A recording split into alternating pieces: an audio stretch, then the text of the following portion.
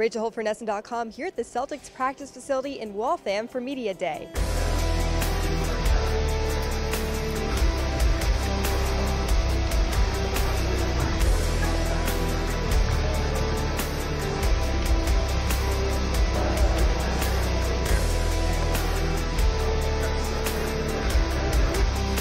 we know we can compete with anybody in the in this league.